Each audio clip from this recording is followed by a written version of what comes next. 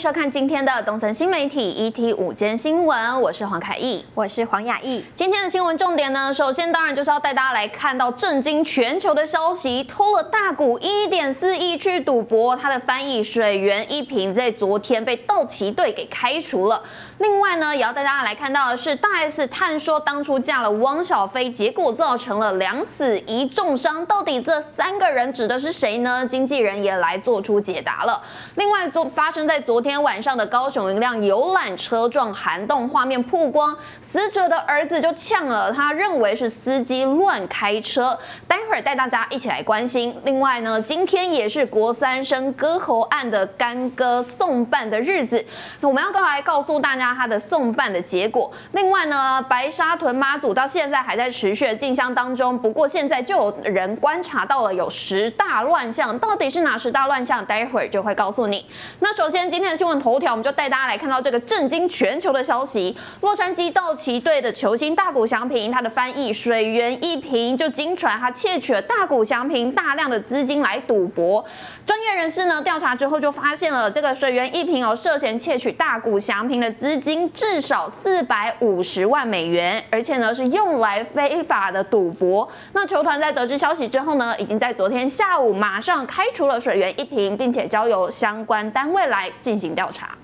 ことはおっしゃられてたので、それだけ勝ちたいという意志がまあみんな強いんだなというのは心に残ったかなと思います。 Like I said earlier, I don't really want to talk about other teams at this stage, so I'm going to kind of shy away from that.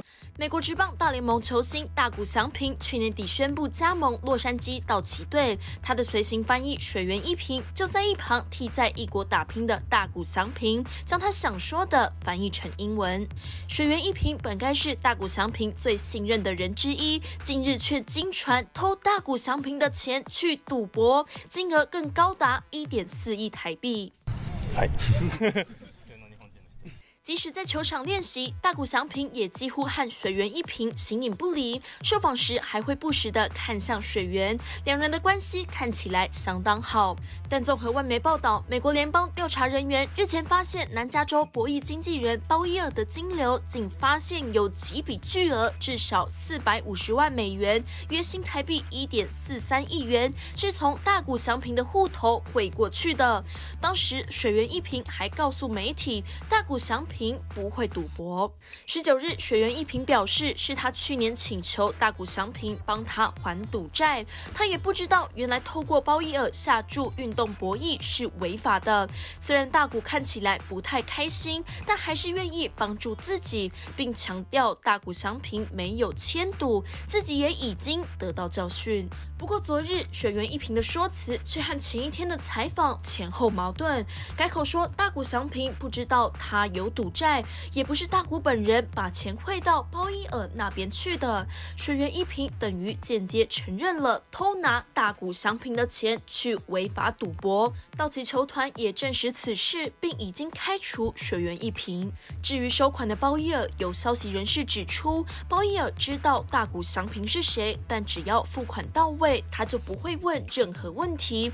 而且为了做大生意，还刻意让别人相信大谷祥平就是。他的迁赌户对此，包伊尔的律师表示，包伊尔和大谷祥平从未见过面，彼此也没有说过话，但其他问题他拒绝回答。水源一平因为窃取大谷翔平数百万元的美金去运动赌博，遭道奇球队球团开除。而他在接受美国媒体访问的时候，表示自己从来都没有赌棒球比赛，而自己在赌博方面也很糟糕，钱是越输越多，就像滚雪球效应。据了解，水源一平遭开除的原因是因为。银行的记录中至少有四百五十万美元，大约是新台币一点四三亿元的钱，从大股的银行户头被汇到一个博弈公司。根据美国媒体报道，水源一平在二零二一年开始在国际足球比赛和其他体育比赛上下注，但没有下注棒球。水源一平本来说大股祥平知情后同意支付债务，交易时用了贷款字眼。为什么大股不直接给他钱而？不是用，而是用自己的账户汇款。水源说，大谷不信任他拿钱，他不想让我赌掉。不过之后，水源又改口否认大谷知道他赌博以及债务。他说：“我所做的一切都是我的错，我已经准备好面对所有的后果了。”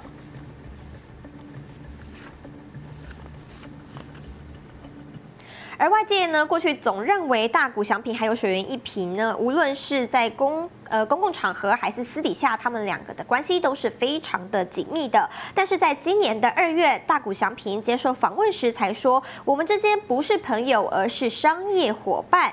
而今天日媒也发现，大谷翔平他已经取消追踪水源的 i i g，两个人的关系正式宣告破裂。根据外媒报道，大谷翔平今年二月出席道奇球迷见面会，被主持人问到和水原一平的关系时，大谷翔平一脸尴尬的笑着说：“我们不是朋友，我们只是商业上的伙伴。”但他又随即笑着说：“但我们在约会交往，让现场球迷也被逗得哈哈大笑。”而水原赌博事件曝光之后，大谷祥平委任的律师事务所在声明中写道：“他们发现大谷是大规模盗窃盗案的受害者，而大谷祥平也被发现突然取消追踪水源一平的 Instagram 账号。”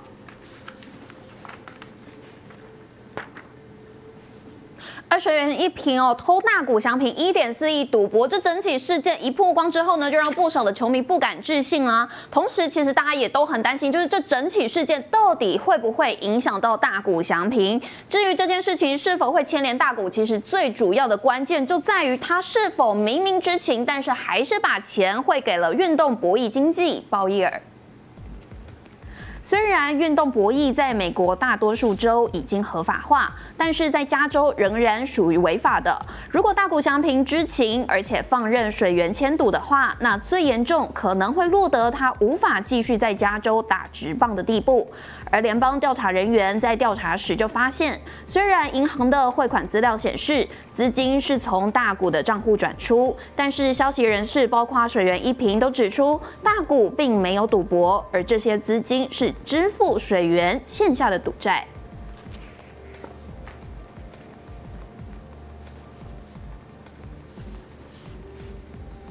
雅英，你看啊，水源一平欠了这么多钱嘛，所以大家当然就很好奇，那到底水源一平的年薪是多少呢？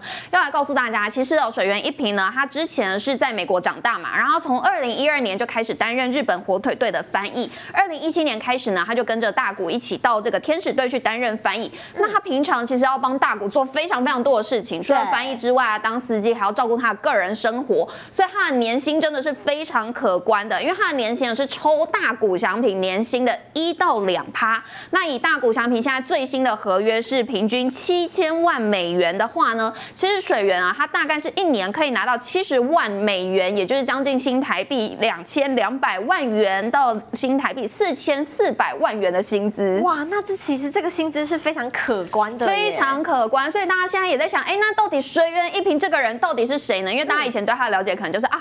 就是大股的翻译嘛。好，我们要来告诉大家，这个水源一平哦，其实呢，他除了是这个外界公认说是大股超亲密的朋友之外啊，他在球迷当中也非常的受欢迎。就连呢，大股日前公开了他跟妻子的合照的时候，也可以看到水源一平的身影，两个人的交情可见一斑。水原一平出生在北海道，父亲曾经在天使主场所在的安娜罕担任日本料理店主厨，因此他从小就在美国长大。在冈岛秀树加盟红袜的时候，担任他的翻译，而且也曾经回到日本担任过火腿队的洋将翻译，才因此认识了大谷翔平。后来就成为了大谷翔平在大联盟的翻译。事实上，水原除了担任大谷的翻译之外，在私生活当中也非常照顾他，像是大。刚到美国还没有驾照的时候，水源就担任他的司机。而他平时也要处理媒体关系，还有大股的训练搭档，更曾经在全垒打大赛当中担任蹲捕的任务，让球迷戏称“二刀流”选手的翻译也要是二刀流。而水源在大股的球迷间人气也相当的高。过去水源还曾经代替大股戴上武士帽上场接受庆贺，或者是在各种可能出错的关键时刻协助大股，让球迷们。都表示大股不能没有一瓶。如今传出水源窃取大股金钱迁赌的事件，让日本的网友们也大为震惊，纷纷感叹说：“他们看起来相处得很融洽，我真的无法理解。”希望大股不要受影响。就像刚刚凯毅所说的哦，水源一平他是深受大谷祥平的信任，而且他们两个人的关系呢，原本也是非常的紧密的。不过现在呢，却爆出重大的背叛，让水源瞬间呢变成了全民的公敌。有许多呢网友都纷纷涌入水源的 IG 留言说：“你为什么要偷大谷的钱？”水源一平最新的 IG 贴文停留在去年的十二月十四日，当时大谷翔平宣布从洛杉矶天使队转战同城球队道奇队。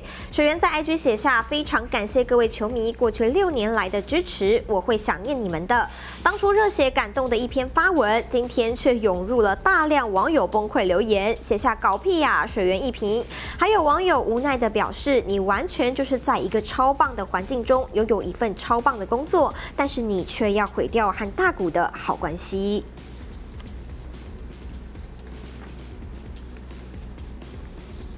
转换焦点，带大家来看到的是，大 S 跟汪小菲离婚之后呢，两个人之间的官司还是持续的。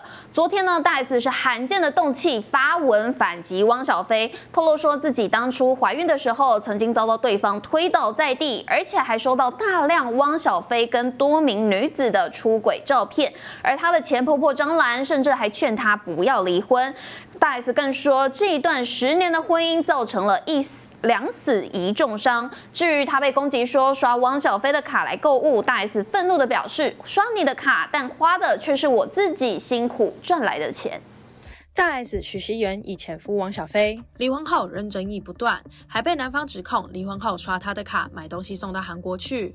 二十日，大 S 发文炮轰汪小菲，并澄清从未刷对方的卡送东西给具俊晔，更曝光曾在孕期遭到前夫推打。她痛揭婚内出轨的就是汪小菲，承认离婚后自己曾未泄愤刷前夫的卡。不过她随即强调这是汪小菲签字允许的，表示并没有刷汪小菲的卡买任何东西给具俊晔。而大 S 也在。在贴文内曝光，当时生气的原因共有三点：张兰造谣黑人因跟你的政治理念不同而殴打你，事实上是你喝多动手推倒我的妹妹，我大着肚子阻止，也被你推倒在地，你抄起哈利波特精装版砸向我。黑人仅出手固定你，停止你继续伤害我，并没有殴打你，并且我收到大量你婚内跟各个不同女性不堪入目的照片，才知为何你总急着两地飞。大 S 感叹，现在事后回想，当时刷卡泄愤，觉得有些可笑，并表示付出在汪小菲身上的多更多，更说到刷你的卡花的也是我自己辛苦赚来的钱。而在贴文最后提及，这是最后一次回应相关事件，今后将全权交由司法。对于大 S 指控汪小菲呢是家暴以及婚内出轨等等的，汪小菲呢也发文做出反击，强调自己从来都没有推倒前妻还有小 S，而且他还晒出了从台湾寄包裹给具俊晔的包裹收据，激动的表示：“你说没有买东西，那这个是什么呢？”愤怒可以理解，但是离婚买嫁妆和逼我签补充协议，然后马上结婚的是你。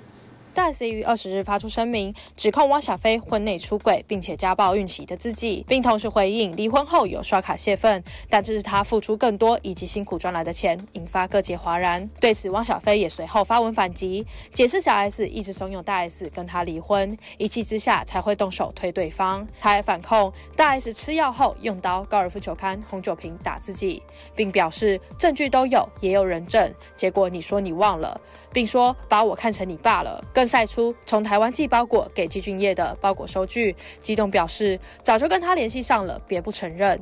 坦言对他们一家的说辞已经容忍太久，希望以后有事不要再通过别人的嘴巴说。在文章最后说道：“这十四年够多了，见好就收吧。”而张兰呢，在昨天晚上也开直播反击了。她说自己哦能够提出相关的证据来反驳，而且呢还说自己已经做好了跟汪小菲断绝母子关系的准备。至于孙子孙女呢，张兰则是说这是家族的血脉啊，将来自己还是会张开双手迎接他们的。那他还说，如果要说汪小菲还欠大 S 钱的话，那应该要把他置办给汪小菲跟大 S 的婚房给还回来。还指控大 S 说，你当初卖婚房大概卖了三亿台币左右。有对于 S 妈回复记者时感叹，汪小菲欠钱不还是事实，今生不还来生还。张兰在当天晚上的直播中就回应了：“你说的非常的对，人是有因果的，但不是下辈子，而是这辈子。那也请你把我给他们购置的婚房给还出来，你大概卖了三亿左右的台币。”张兰的意思相当于将婚房卖掉的三亿元，扣掉汪小菲至今未还的上亿元，S 家还反过来道歉汪家两亿，双方都指控对方欠钱不还。除此之外，张兰还批评大 S 现在的行为是在影响祖国下一代的价值观，让年轻人恐惧不敢相信爱情。张兰更表示，已经提出小部分针对性的证据的同时，也做好了跟汪小菲断绝母子关系的准备。他说会这么做。是出于自己的企业家身份，有责任要保护和他一起打拼二十多年的团体，而且要带头树立社会正确的价值观。对此，许多网友纷纷留言说：“张兰的证据就是自己手敲的彩色文字 Word 截图。”还有人留言说：“是不是对证据有什么误解啊？”更有网友说：“看到这么多评论骂张兰，我就放心了，还是正常人多。”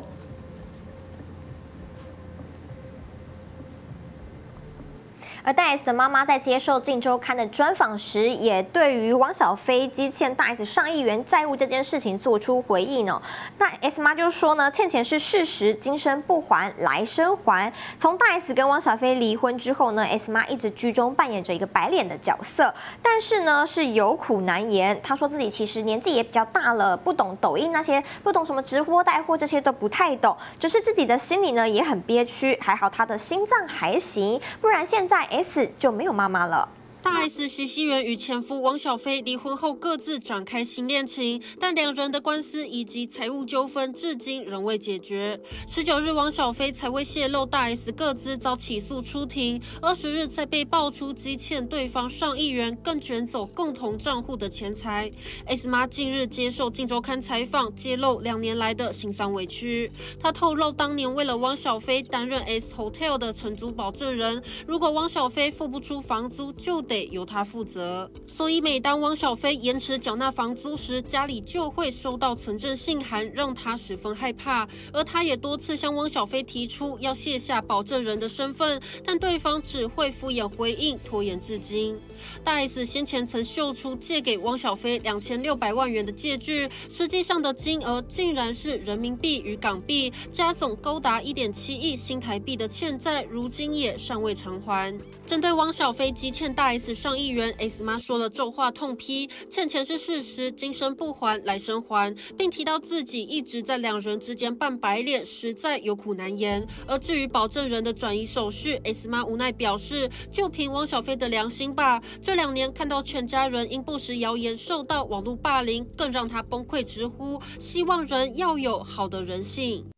大 S 发文炮轰前夫汪小菲，而在内容中呢，就有提到一句话，就是呢，十年的婚姻两死一重伤。那网友们就开始在猜测说，哎，这句话里头到底是有着什么样的含义？到底在说什么两死一重伤呢？那就有网友猜测说，应该是大 S 之前呢，为了汪小菲呢，两度流产，而且自己在生产的时候因为癫痫发作，还险些送命。而对此呢，大 S 的经纪人也亲自解答了这句话的真正含义。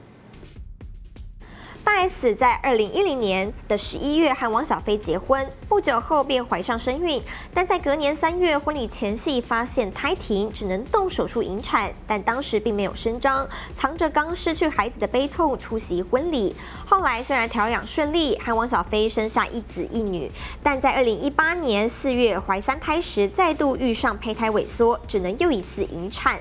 而事实上，大 S 多年来为了求子相当拼命，自身原本就有癫痫症。状在二零一六年准备产下第二胎时，因为宫缩严严重，痛到体力不支，再加上对止痛药物过敏，导致生产过程中出现缺氧、昏迷等癫痫症状。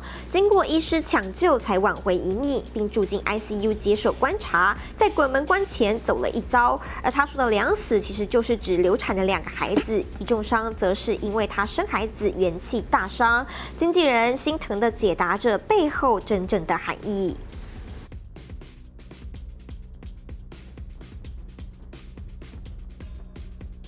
去年底发生的新北国三生割喉命案，当时是震惊全国，相信牙应该都还记得这起事件吧？对，没错。那当时呢，痛下扎手的这一名干哥哥郭姓少年呢，当时是被这个少年法庭给裁定收容，经历了三个月的调查，法官在今天上午裁定，将他依照杀人罪嫌移送检方。至于涉嫌教唆杀人的干妹妹林姓女子，将在今天下午宣誓裁定的结果。去年十二月二十五号，新北市一名国三生因为仗义直言，遭到隔壁班的女同学找来同样是国三生的干哥哥来替自己出气。没有想到，这名干哥居然拿着弹簧刀猛刺这一名男同学，导致男同学最后是伤重不治。家属今年一月在告别式上明确表达反对废死，并且要求杀人偿命、速审重判。而今天法官裁定，将干哥哥依照杀人罪移送检。方，而涉嫌教唆杀人的干妹，则是在下午的宣誓裁定结果。至于民事赔偿部分，受害国三生的父亲曾经透露说，干兄妹的父母早就已经脱产了，没有赔偿能力，让他们求偿无门。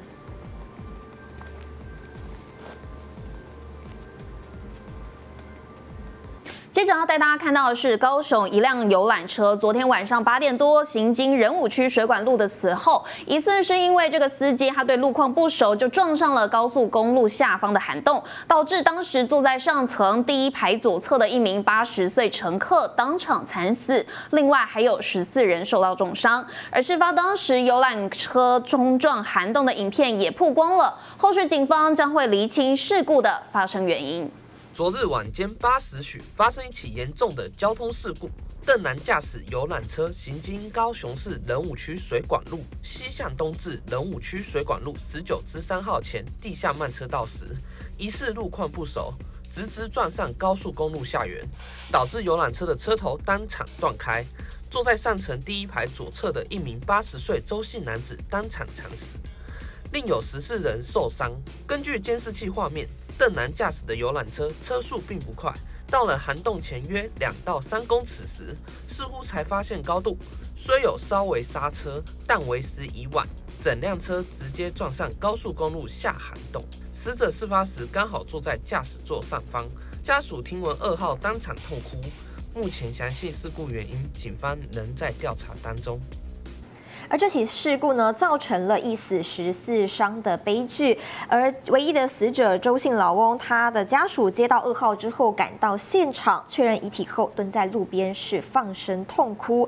死者的女儿受访的时候说，才跟父亲通完电话，父亲说才刚到高雄，没有想到这竟然是父女俩最后一通的电话，自此天人永隔。而六月就是爸爸八十岁大寿，家人已经准备好要办生日宴了，没有想到却。传来噩耗，让人心疼不已。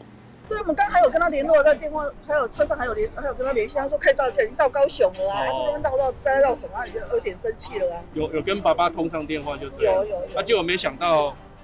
对啊，我不知道啊。他一起在做桃检了吗？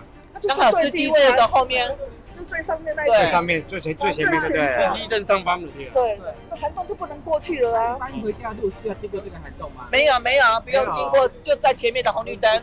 不知道他为什么会往往到前面这边开了？不 知道为什么？他说要往往过去那边让他们下。他给开到机车道了。对他应该是下面那个车道，不应该在上面。常常跑这里的车怎么会不知道这个状况啊？爸爸归会了。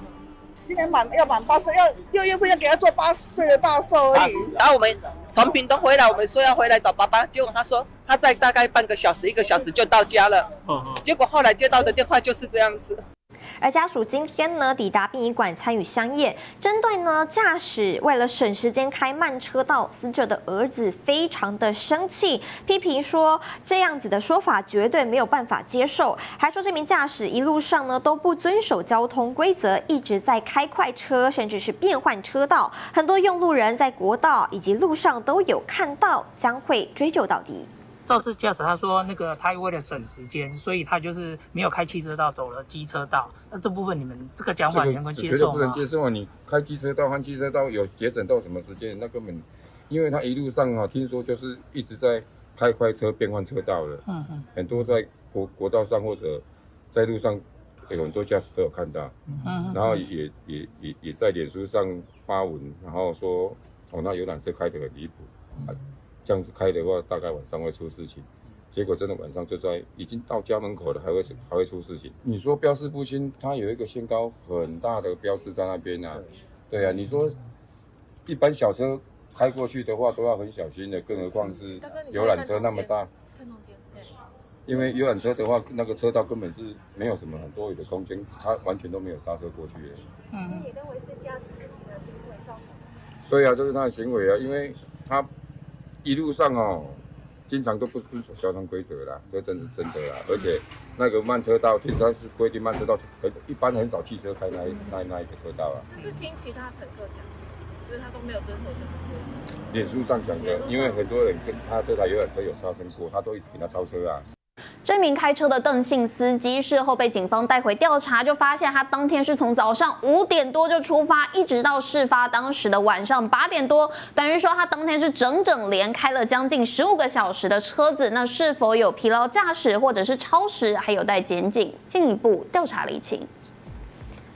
警方现场将司机邓南带回分局厘清事发经过。经过初步了解，这一辆游览车的旅行团是一日游的行程，车上共计二十七人。而这一名邓姓司机，他开着游览车返程行经水管路西向东方向，为了节省时间，才会提早切入行驶机慢车道。但因为车子的高度超过了这个涵洞限高两米，导致车头自撞。而邓姓驾驶事后被警方带回调查时，他的。九测值是零。不过根据了解，这个旅游团从清晨五点半就集合出发，一直到事发当时的晚间八点多，邓姓司机几乎是整整开了将近十五个小时。但是否有疲劳驾驶或者是超时等问题，还有待进一步调查理清。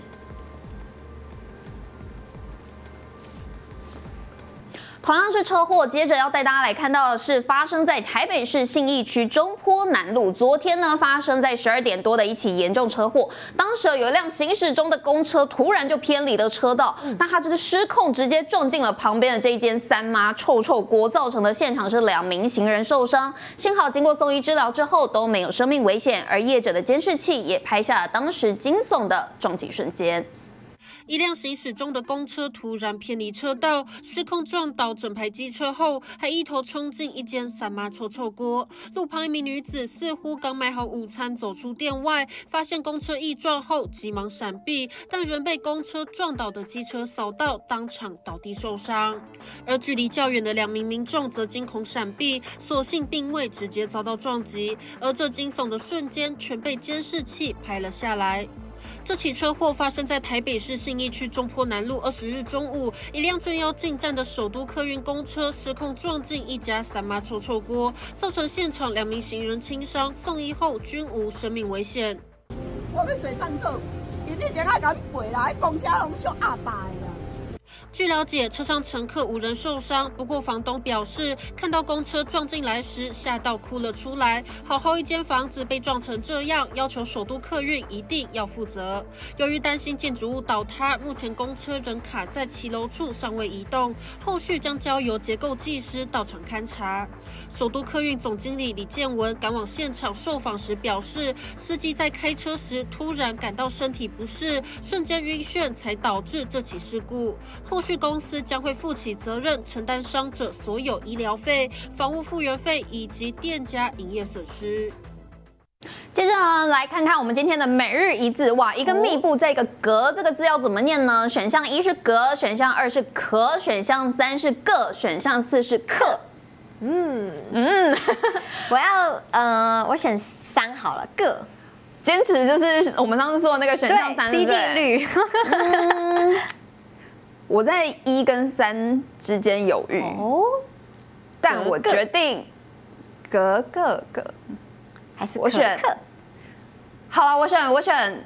我选可好，哎，好，到底今天会不会七连败呢？待会大家就会知道答案了。好，那接下来呢，带大家看到的是一年一度的白沙屯妈祖进香活动呢，每年都吸引非常多的信众呢，是一起跟着走。那呢，也有不少政治人物还有艺人都跟着参加。那在十九日的时候呢，国民党总召傅昆奇还有花莲县长许正卫夫妻俩也专程到了台中来迎驾。不过妈祖的銮轿呢，在路口摇晃了一阵子之后呢，却右转绕。绕过了他们两个。不少网友看到这个小插曲，都笑着说：“妈妈祖也太帅了吧！”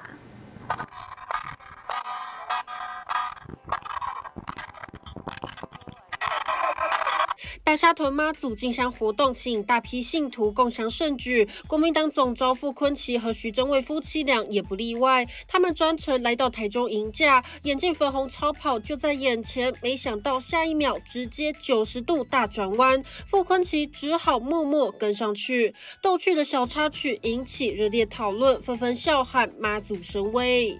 从十九日直播画面中可以看到，形成一向飘忽不定的白沙屯妈祖走到台中龙井区公所旁。当时傅坤奇夫妻就在马路中间等待妈祖到来。不过妈祖在路中停了一下之后，下秒右转绕道而行。傅坤奇夫妇见状一路跟随。你也知道，这个粉红色超跑哈是随心所欲啊，不过，傅昆奇二十日被问起此事时，他特别强调有顺利赢价，也还原了当时的经过，笑称粉红超跑本来就是随心所欲。今年的白沙屯妈祖起驾呢，吸引了将近二十万名的民众来跟随。不过呢，也引起了一些乱象，像是有民众爆料说什么吃过没有吃过的食物丢到地上啊，甚至是乱丢垃圾这样子的行为。那有一位资深的香灯角呢，他就沿途列出了十大的乱象，让他感叹说，现在进香越来越像行动夜市。这位已经跟随白沙屯妈祖进香十年的资深香灯角，在脸书社团指出，回忆起以前没有那么多人的时候，当时大家都遵守十大戒律，就是不钻轿底，还有垃圾自己带走，只拿自己够吃的，不贪不贪心，用不到的就不要拿，走的就是修心，还有陪伴，凡事都要正面感恩，而且反思检讨自己，想到别人，因为别都在麻烦别人，还有随时帮助别人，敬天敬地。妈祖，不过近年来人潮越来越多，随之而来的就是引发了一些乱象，让他认为宛如行动夜市。他就指出了这几项乱象，像是追热潮、蹭妈祖、乱跟，还有乱摸叫、四处拿免费的结缘品，还有来凑热闹、乱丢垃圾、利用神明找神机、自私认为别人做的都是应该的，还有假借神明的名义对自己做有利的行为，还有为了避章来玩的，以及。说妄语，这位香灯角直言，就是进香，不是行动夜市。告诫来进香的信众，如果只是为了自己，最终会回向自己，因为妈祖都有在看。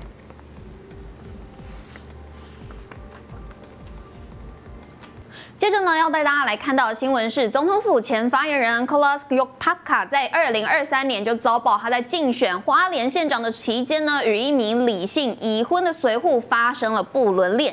事后呢，这名李姓随护的妻子就提告求偿，而花莲地方法院则判 Kolas Yotaka 应该要判赔七十五万元。对此呢，他则说没做的事不能吞，他会继续战，因为他相信真正的公义会出现，只是时间早晚的问题。C l a s Yotaka 被曝涉入不伦恋，让正宫一状告上法院，求偿百万。而法院就认为他在 LINE 讯息当中与李姓已婚随护有超乎工作的关系，甚至超出一般朋友正常社交往来程度的暧昧对话，而且两个人的交往互动已经超乎工作关系或者是一般朋友正常社交往来的程度，侵害李妻配偶关系，情节重大，应该赔偿李妻七十五万元。对此，Kolas 的回应说：“政治是血腥的战场，这一条争取恢复名誉的苦路还没结。”，我已经提出上诉，在花莲高分院见。而他也在脸书上抒发情绪，说感谢很多好朋友的鼓励与关心。旅途途中停下脚步喝杯咖啡，咖啡可以喝，但没做的事不能吞。喝完我会继续站。库拉西尤塔卡呢遭到法院判赔七十五万元，决定上诉。对此呢，李姓随护表示，法官是不听证词、不看证据，没有的事情，一切都太扯了。李姓水户说明，是因为他与妻子常年失和，妻子妄想他有外遇，还被妻子言语霸凌，他在家中根本就没有经济掌控权，每个月薪水都必须要上缴，而且妻子一个月只给他五千元。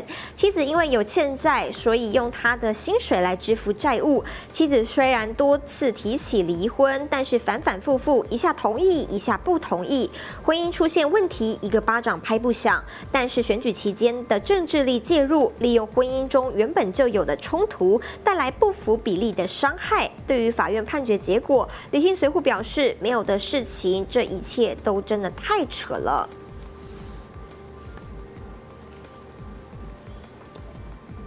接着来带您关注一起社会案件哦。新北有一名十二岁的少女，我们就要先叫她美美好了。她因为家庭的因素呢，进到了这个三重某社服教育机构。没有想到呢，在课程期间，她遭到一名十四岁的学长揉胸戳下体，次数高达了七次，而且这个过程呢，竟然都被对方给拍了下来，行径呢是非常的恶劣。那呢，美美的爸爸就非常的愤怒，说事后呢，这个机构都没有通。之监护人，近期判决结果出来，肇事的同学以及家长都是人间蒸发，让他哭诉无门。对此呢，ETtoday 新闻云的记者在采访联系之后呢，这个机构就回应说，一切将会依法来处理。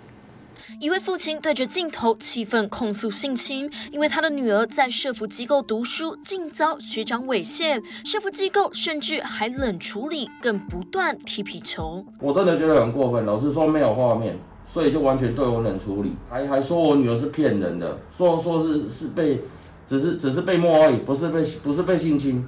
真的很过分。新北市这名十二岁的受害少女，化名美美，因为家庭因素，二零二二年七月被转介到财团法人三重某社福教育机构。没想到才过几天，美美就在课程期间遭十四岁的学长揉胸、摸下体，甚至还拍照留影，一周内更多达七次。但事件发生之后，这家社福教育机构却跳过身为监护人的美美父亲，只和美美的奶奶联络。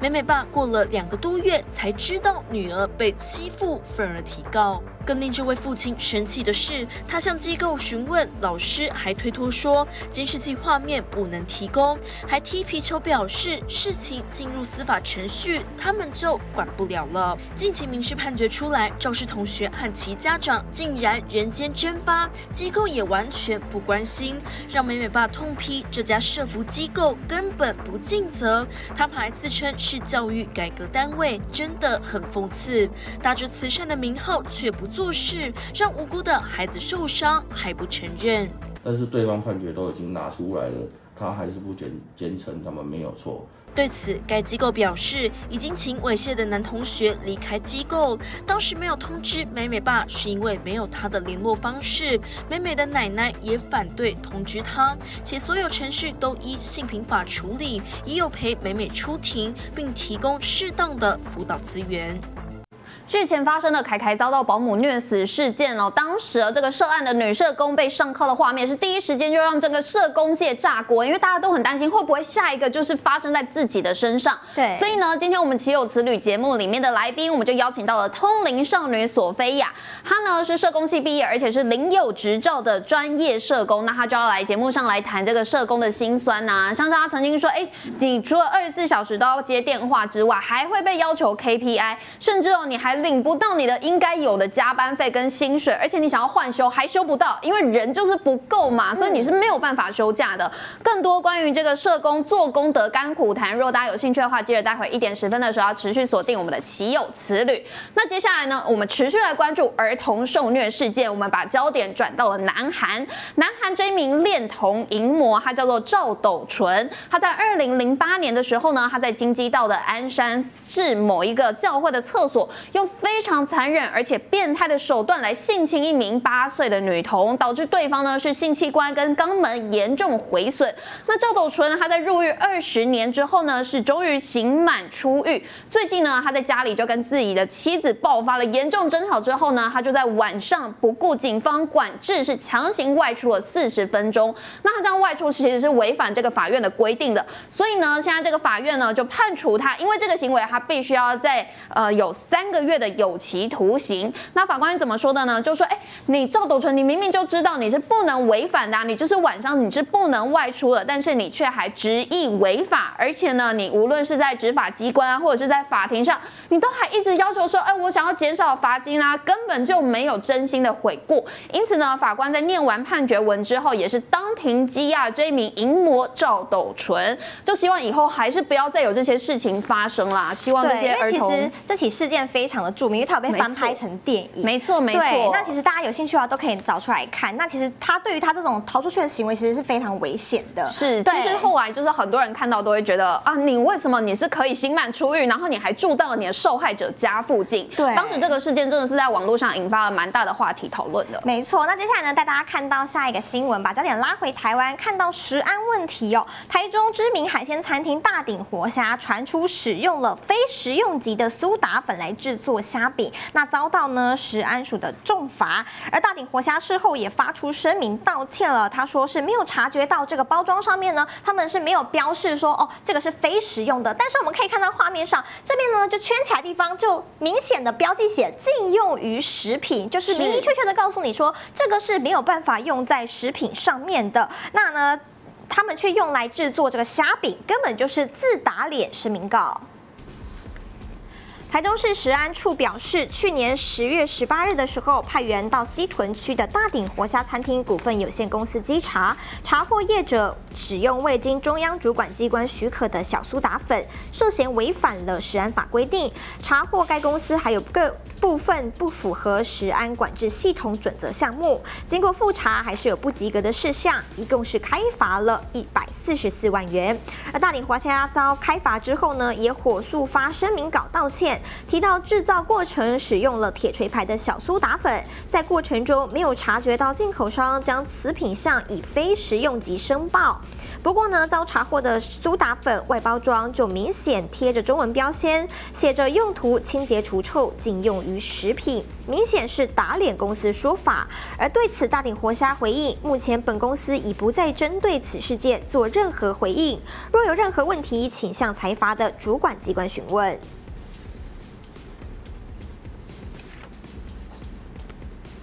接下来公布我们每日一次的答案了，英通课我们又错了，可恶，可恶，可恶！好啦，我们这次的选项是答案是选项四，我记得。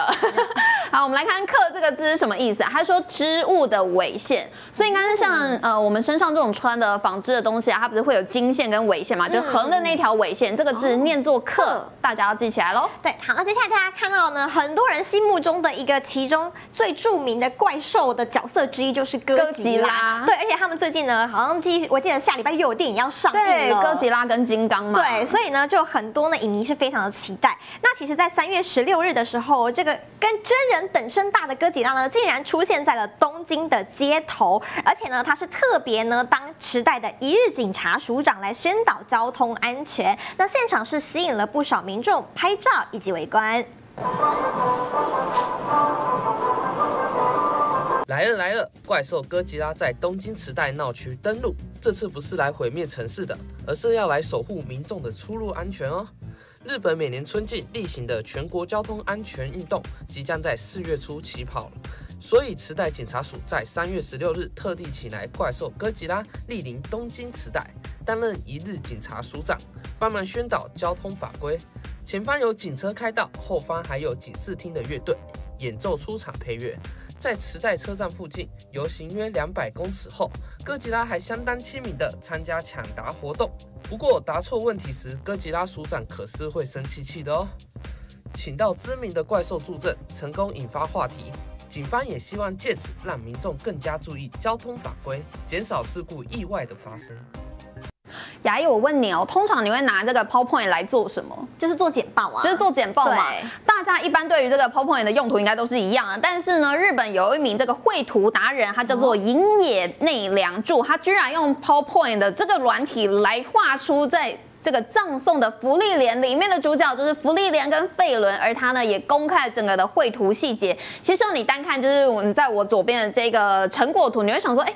有什么难难的？感觉好像就是直接图片复制贴上嘛。但是呢，这个银眼内梁柱啊，他就公布了，就是当你把 PPT，然后你把它点击成那个投影片的时候，就会显现出来哇，其实密密麻麻的很多的这个图层，它是交叠在一起的，它是这样一个一个图层这样自己画出来的。所以它这张图就是呃曝光在网络上之后呢，就让许多的网友是真心的佩服。目前啊，他的这张贴文呢，已经突破了三万多人按赞。那如果你有兴趣的话，可以到他的 Twitter 去观看更多他的作品，真的是非常非常的厉害，对，真的超厉害的。好，接下来呢，我们要带大家来看到的是可怜的狗狗，这是发生在台中，有一只柴犬啊，它就被网友发现说，哎，它是半吊着在这个阳台地区，而且呢，它就发现，哎，它只能这个后脚站立，那它可能因为前面就是有这个链条嘛，所以它是没有办法整只狗是站在地上的，它只能这样趴着，很无助的样子。那目击民众就拍下影片来向动保处报案求救，而动保处介入了解之后呢，认为这只柴犬并没有立即的伤害，再加上是初次有这样的情形，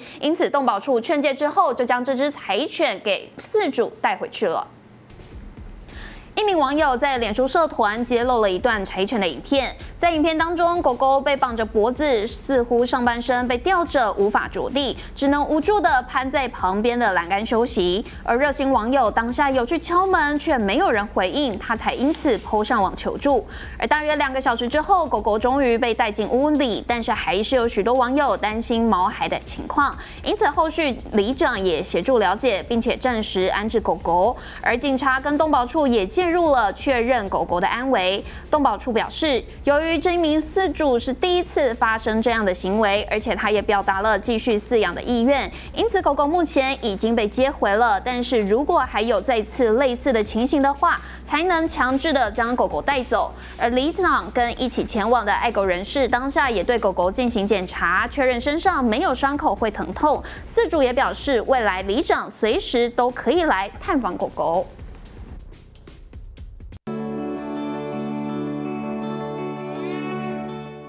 那不过呢，在比较偏华南地区，其实可以看到有云系逐渐的发展，并且朝着东方慢慢的移过来。那这些云呢，其实造成是比较偏中层跟高层云的增加。不过当它慢慢的移出来，靠近我们台湾地区的时间，大概是会落在今天下半天比较偏傍晚之后，到明天的比较偏上午的这段期间。所以呢，在北部地区现在虽然说是这个云量比较偏少，有一些阳光出现，可是其实到了今天傍晚以后，要留意一下云量有一些稍微增多的情形。那当云比较多的时候，部分区域也有可能会出现一些小小的飘雨现象哦。不过并不是说所谓的这种大雨一整个晚上，那只是今天晚上的北部地区可能云量有一点略微增加的趋势。其他地区云量呢，跟水汽含量其实相对比较少的。不过这云的影响呢，其实也只有仅含在这个今天的傍晚到明天的比较偏上午这段期间。今天来说呢，其实图面上面可以看到，几乎是没有什么降雨出现在我们预报图上面哦。那比较属于量多，稍稍微有一点感觉降雨在，特别在东南部地区会有些零星降雨的这种情形。